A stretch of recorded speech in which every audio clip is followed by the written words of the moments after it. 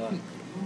А ты никогда не думал, почему ты тебе не, не натренироваться вот эту тему, знаешь, подходишь обезьянку прям к сетке так, чтобы она отскакивала прям, прям ну как бы, знаешь, э, ударялась бы об квадрат, но так близко, что сразу к сетке бы отскакивала. Никто бы не, ну, не отбил бы ее. Да ну ты чё?